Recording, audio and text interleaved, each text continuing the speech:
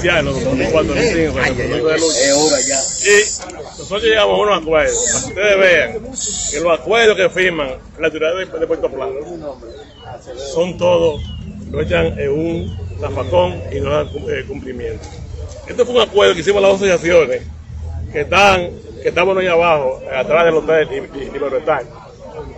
En el 2004 nos, nos trajeron para acá, para el pueblito de Playa Dorada. Esto está firmado por Abraham Seymour, Buque Silverio Galán, por nosotros, eh, César José de los Santos, eh, eh, Bernadita Bu Fin. Este acuerdo señala ahí unas cuantas cláusulas que se comprendieron la asociación hotelera, el gobierno, porque estaba César José representándolo, y también turismo, para mudarnos para acá arriba. Y eso no se ha cumplido ni una cláusula de eso. Y por más que uno hable y, y, y, y patalee, nada, han pasado 20 años. 20, 20 años, Carlos, ese acuerdo. 20 años. Y tanto la- la- los gobiernos del PLD como este gobierno, la plaza que yo estoy seguro que se puede lograr perfectamente.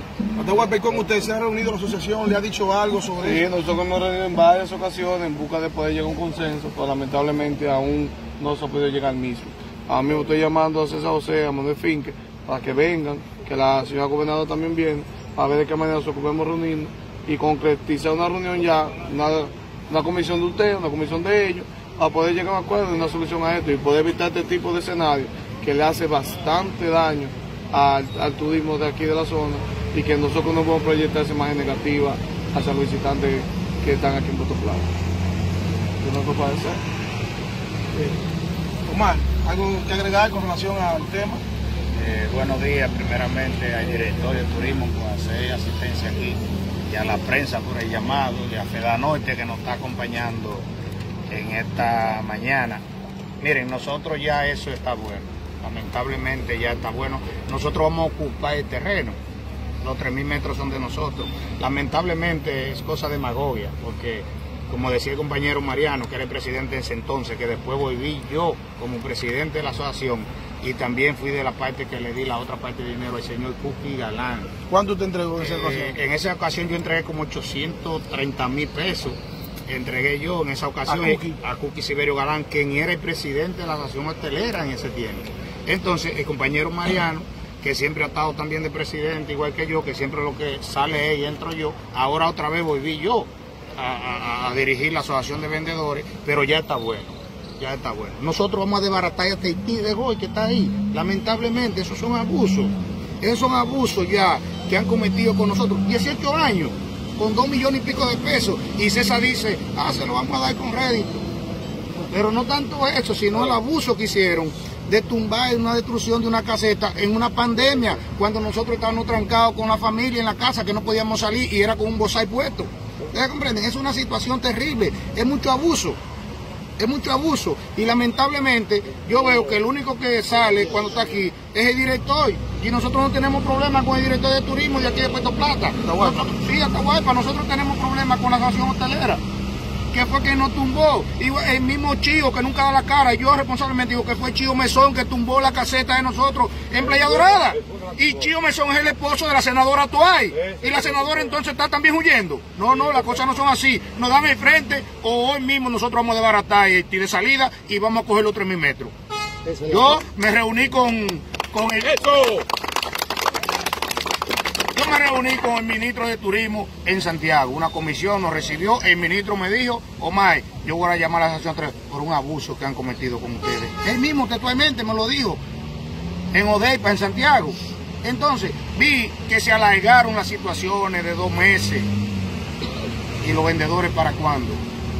A veces hemos tenido atropellos de los mismos hoteleros atacándonos y ellos tienen el dinero nuestro.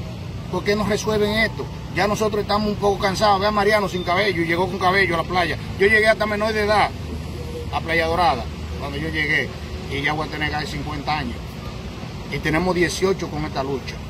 Y ya esto lamentablemente llegó al fin. Yo le hago un llamado al ministro que, que meta la mano con nosotros, porque de lo contrario, Playa Dorada, nosotros vamos diario en pie de lucha. Le pido a Feda que nos dé el apoyo, que diario vamos a estar o en la puerta dentro de Playa Dorada, que es lo que nos pertenece, pero vamos a ocupar el terreno. Vamos a ocupar el terreno, los 3.000 metros que nos dieron, lo vamos a ocupar y vamos a desbaratar ti de salida, sépanlo claro, lo vamos a desbaratar porque ellos lo hicieron sin autorización nuestra. Porque César José, que hoy es el presidente de la asociación hotelera, era el gobernador, como le dijo Mariano en ese entonces, y nos decía, no, no, ya eso está ahí, vengan y firmen todo, y firmamos todo para irnos. Ah, en tal mes lo vamos a entregar. Y nosotros ya no estamos jugando dominó allá. No hay turistas, nos ponemos a jugar dominó, pero ya tenemos donde estar. Pero ahora estamos ambulantes todavía. Ya comprendí, eso ya está bueno. Dijeron que ya no querían más ambulantes en, en el área de playa.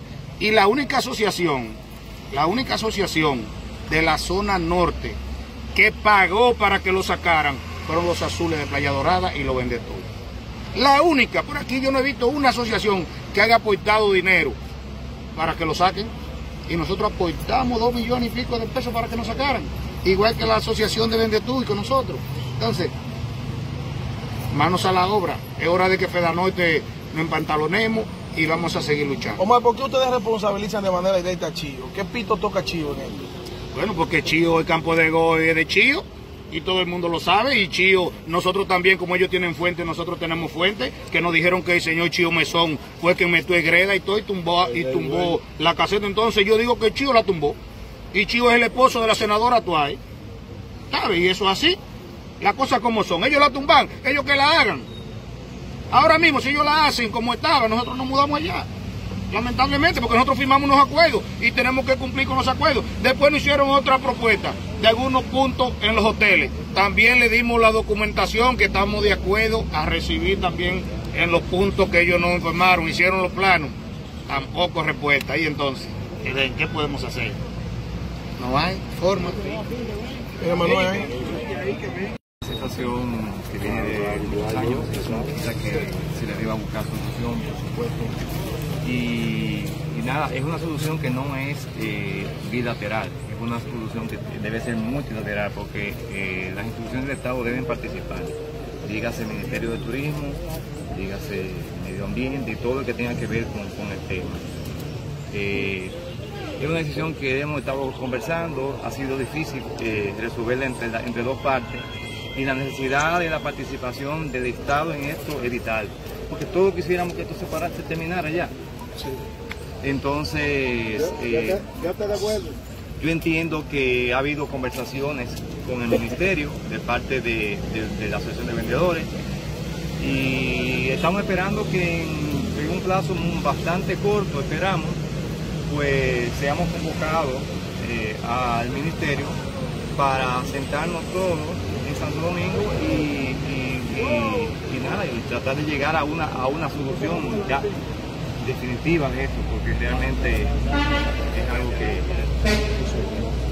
que- no vale la pena. O sea, ellos pierden tiempo, la policía pierde tiempo, nosotros perdemos tiempo, entonces, y yo sé que, que en un momento se intentó hacerlo de dos par, de dos vías, eh, no, eh, no hubo eh, solución definitiva y vamos a ver qué, qué solución se busca ahora. Sí, Manuel, pero independientemente de ese consenso que usted llama, que lo vemos muy bien, la demanda principal de ellos es que ellos dieron más de 2 millones de pesos a la asociación y que también en pandemia la misma asociación tiene conocimiento que le derribaron las instalaciones. ¿Cuál es la respuesta de ustedes ante, ante esas acusaciones que ellos hacen directo? Mira, los fondos, los fondos hace tiempo que están, están eh, depositados en instituciones bancarias, eh, instituciones bancarias para que no pierdan el valor del dinero, porque el dinero va, va eh, ajustándose, indexándose con la inflación en el tiempo. Y, eso está ahí, está disponible y ellos, y se le ha expresado en innumerables ocasiones anteriores la disposición de eso, pero yo sé que la intención no es solamente eso, es, es resolver todo de una manera conjunta. O sea, no hacemos tal vez nada devolviendo dinero si no se le busca la- la- la solución final a todo. Y ya hay que, que- porque hay una relación eh, hasta de amistad con muchos y, y es un- no es un tema personal, es un tema de instituciones, ¿tú me entiendes? Manuel, ellos, ellos alegan que han transcurrido ya 19 años. Sin embargo, hasta el momento no se no les ha buscado una, son, una- viejo solución a la problemática, por lo que han tenido que recurrir una y otra vez al mismo proceso. Mira, ojalá, ojalá y esto, eh, yo sé que hay una intención desde el Estado, eh, porque ya se han hecho intervenciones en otro destino del país, eh, y espero pues Peda y todo y tumbó, y tumbó la caseta. Entonces yo digo que Chío la tumbó. Y Chío es el esposo de la senadora Tuay. ¿Sabes? Y eso es así. Las cosas como son. Ellos la tumban, ellos que la hagan. Ahora mismo, si ellos la hacen como estaba, nosotros nos mudamos allá. Lamentablemente, porque nosotros firmamos unos acuerdos y tenemos que cumplir con los acuerdos. Después nos hicieron otra propuesta de algunos puntos en los hoteles. También le dimos la documentación que estamos de acuerdo a recibir también en los puntos que ellos nos firmaron, hicieron los planos. Tampoco respuesta. Y entonces, ¿qué, de- qué podemos hacer? No hay forma. Tenemos de turismo. Podrá contar con la ayuda del presidente Luis Abinader para que este problema se resuelva. No es de ellos el problema, estamos conscientes de eso. Es de los propietarios de Playa Dorada que cogieron el dinero y desbarataron la plaza. Ellos son los que deberían estar presos frente al hecho que cometieron en perjuicio de de dos asociaciones, los vendedores de artesanía y los vendetur o los blancos. Entonces, ahora ni nos, ni nos escuchan. Por Dios, yo quiero que ellos se sensibilicen un poco y escuchen a estas asociaciones y a Feda Norte para salir de esta situación. Son asociaciones que ya los miembros están poniendo viejo todo. Ya lo único que queda es eso, esa membresía.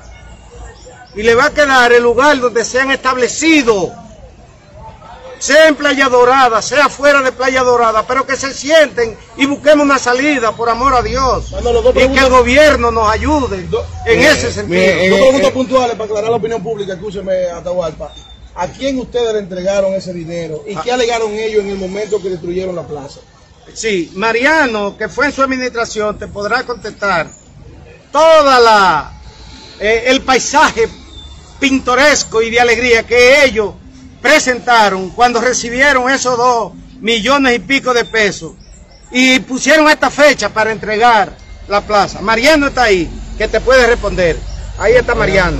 Bueno, eh, y yo, y yo, da pena que yo he compartido con el mayor, da pena, me dio mucha pena que yo he compartido con ese muchacho allá mismo, con Galán y él, él me manoteara de la forma que me manoteó, y tirarme esa bomba. A mí, a mí me tiró esa bomba en los mismos pies, me la tiró. No él, pero uno de sus policías mandados por él. Y como estaban los vendedores, a los gritos, hay una dama ahí que tengo que mandarla, que tengo que mandarla al médico, por una falta de diálogo. Si nosotros simplemente la íbamos a esperar a usted en la puerta de Playa Dorada. Simplemente le dije que me dejara cruzar la puerta de Playa Dorada.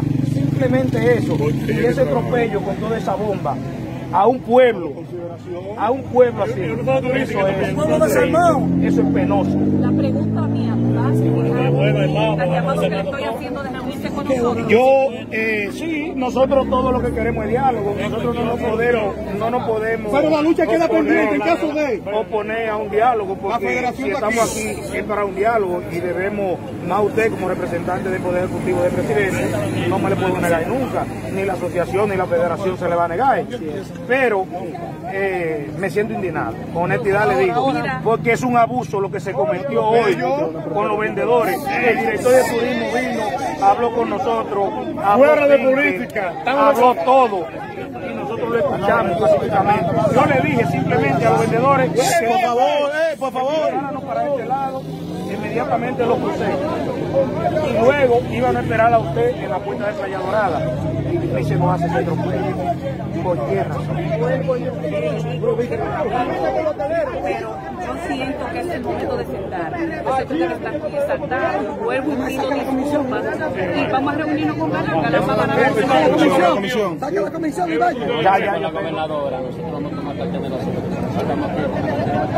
problema, pero si no se calman, me retiro. No me mareo. Lo primero que vengo es a ofrecer el salón blanco y negro de la gobernación para hacer una reunión con ustedes. y a la vez, si usted cree que es un mareo, si usted cree que es un mareo, deme un permiso, gobernadora, deme un permiso, deme un permiso, deme un permiso, deme un permiso. día de hoy. Lamento mucho que la policía se haya exaltado y haya ocurrido esto. Yo no llegué a tiempo porque estuve en la funeraria y de la funeraria vengo. Pero vengo a ofrecerle el Salón Blanco y Negro para hacer una reunión como ustedes se la merecen. Así es que los invito a que me acompañen. Pero, señora gobernadora, mire, ahora mismo César José Sigún no está en la provincia. La señora senadora tampoco está en la provincia. Entonces, ¿Sabe quién está en la provincia? La representante del presidente. ella va a estar ahí. esa. Sí, pero, eh, señora gobernadora, vuelvo y reitero. Nosotros, primera vez, primera vez que a esta asociación y a Fedanorte le hace un atropello a la autoridad. Primera vez. Primera vez. primera vez en la historia. Da pena, da pena eso, que a nosotros se nos atropelle, se nos atropelle de esa forma que se nos atropelló hoy. Exigiendo nuestros derechos. Con una lucha, con una lucha que nosotros venimos pacíficamente y muy razonable. Muy razonable porque la provincia de Puerto Plata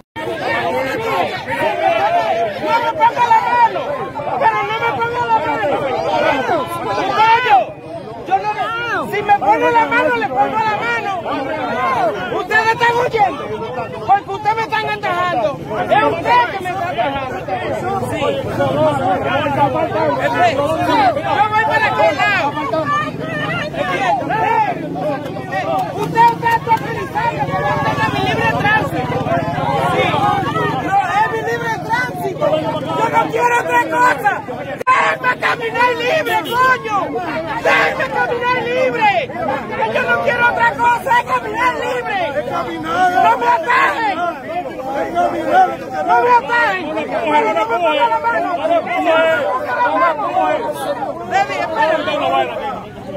Vamos a evitar noticias internacionales.